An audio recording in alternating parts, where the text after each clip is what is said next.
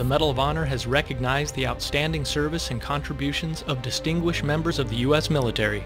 33 Asian American Pacific Islander service members have received the Medal of Honor. Telesforo de la Cruz Trinidad, born in the Philippines, was the first Asian American Pacific Islander sailor to earn this esteemed award. Fireman Second Class Trinidad showed extraordinary heroism when a boiler exploded on board USS San Diego in January 1915. Trinidad was driven out by the explosion, but immediately returned to rescue a fellow sailor who had been injured, bringing him to safety. Trinidad assisted in the rescue of another man, despite a second explosion which burned Trinidad's face. Asian American and Pacific Islander sailors, like Trinidad, contribute to the strength of our force and the defense of our nation.